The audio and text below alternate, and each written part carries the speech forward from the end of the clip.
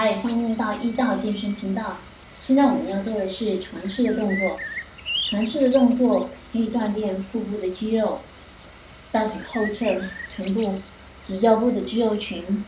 除此之外，可以增加血液循环，促进新陈代谢，还可以改善消化及排泄系统。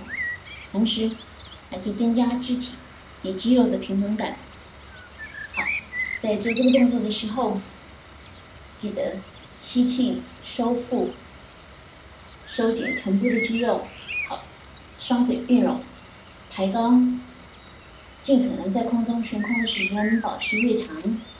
你可以利用双手抓住脚踝或者是脚，也增加你的平衡感。双腿蹬紧，这样子可以延展腿部的肌肉线条。好，记得多做，你的平衡感越好。在且在空中抬高的时间也就能维持越长。